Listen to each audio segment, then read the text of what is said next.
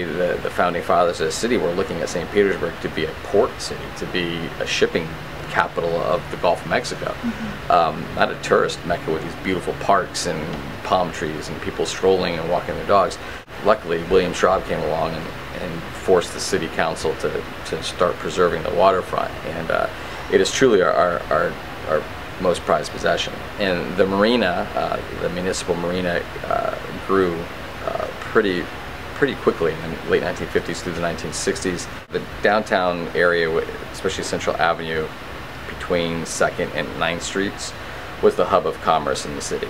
Whether you needed a haircut or whether you needed to buy shoes or whether you needed to buy a dress or a tie or whatever it was, you went to Central Avenue because that's where the, the, hub of the commerce was. We talked about you know the, the Central Avenue being the, the center of commerce, and, and it was from the beginning of St. Petersburg until that fateful day in uh, actually 1950 when um, Tyrone Gardens opened. Uh, with the explosion of growth in the city in the 1950s, the suburbs were born, obviously. And we don't really consider them suburbs here in St. Petersburg because it's, it's kind of like all part of the city, but the different neighborhoods, especially heading out west towards Tyrone, were being added.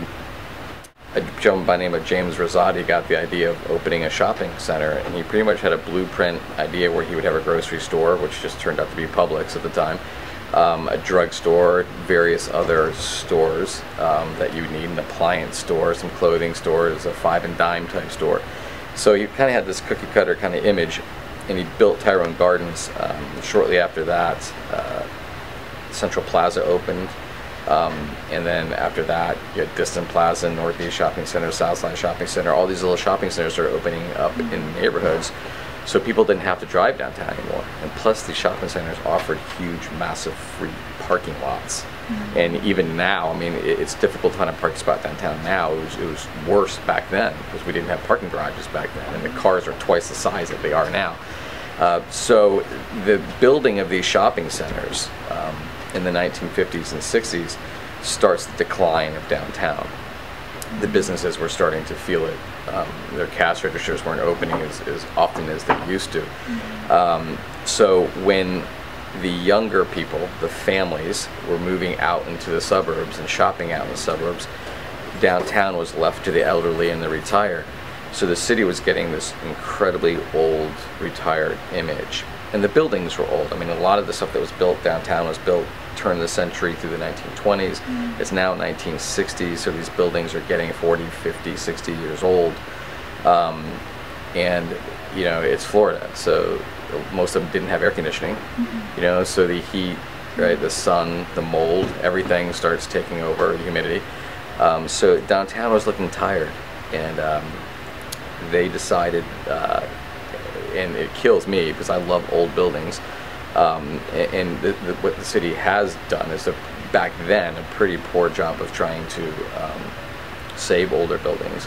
In 1961, a lot of the business leaders got together and decided and put forth this plan that would um, basically turn St. Petersburg into a younger, cooler, hipper town. Um, so they started, you know, out with the old and the new. So a lot of the older buildings were starting to get leveled, and they were putting up new buildings. 1965, um, a few things had been done, but in 1965 it was a pretty big year. And this is, you know, families were were traveling more. Florida's tourism industry was exploding in popularity. Uh, there were bridges open to the beaches, so the beaches were being built on the hotel, and that hurt downtown as well. Um, so the city uh, basically put together um, in addition to this plan that brought a lot of tourist type, type activity to downtown. So 1965 was a pretty big year. The Museum of Fine Arts opened. Um, the HMS Bounty arrived in St. Petersburg as a tourist attraction right outside our, our door here at the Museum of History. The Bayfront Center was opened um, on the waterfront to bring in professional hockey and all kinds of events, circus, concerts, the whole thing. Um, the University of South Florida opened their Bay campus on Bayboro Harbor, um, mm-hmm. so you know, the, the, city was was seriously behind that to attract college age and younger people to come to St. Petersburg. And um, in 1967 was the big one. Uh, in 1967, they tore down the Million Dollar Pier, the actual structure that was on the pier. Um, had been up since the early 1920s, and it, it symbolized the retirement elderly image of downtown because it became the city's senior center, um, and uh, they decided it was time to go. So in 1967, they tore it down. So it, we struggled during this time period. Uh, the population of downtown St. Petersburg got older. The office buildings got emptier.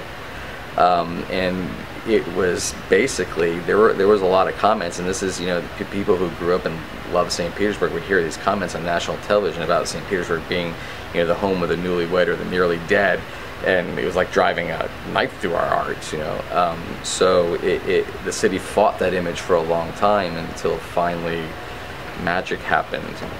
You know, Baywalk was built and Beach Drive was revitalized, and all of a sudden downtown St. Pete became what they envisioned in 1961. So it was pretty amazing to watch. Look at the museums. I mean, the Dali Museum, Museum of Fine Arts, our museum at Chihuly. There are so many cultural things to do here, whether you like art or history or whatever it is.